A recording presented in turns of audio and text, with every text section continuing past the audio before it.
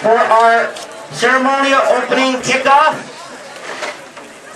Today the riders and the SHSAA recognize a long-time high school educator and coach, Ed Jenkins.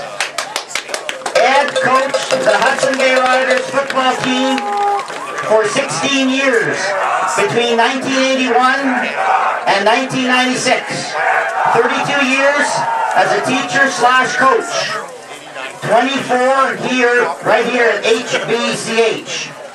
During his time, the Riders had a record of 107 wins to 30 losses. They went to the provincial finals seven times and won three nine-man championships. Ed for 28 years coaching and 32 teaching. Today, uh, during this time, the Riders record of 107 to 30 losses. Ed and his grandson Tyler will be doing the cook-off, kickoff. And with that, here is the official kickoff. Thank you very much and congratulations, Ed.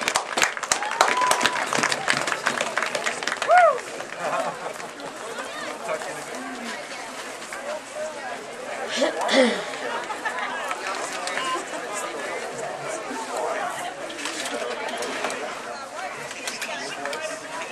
have some, uh, we have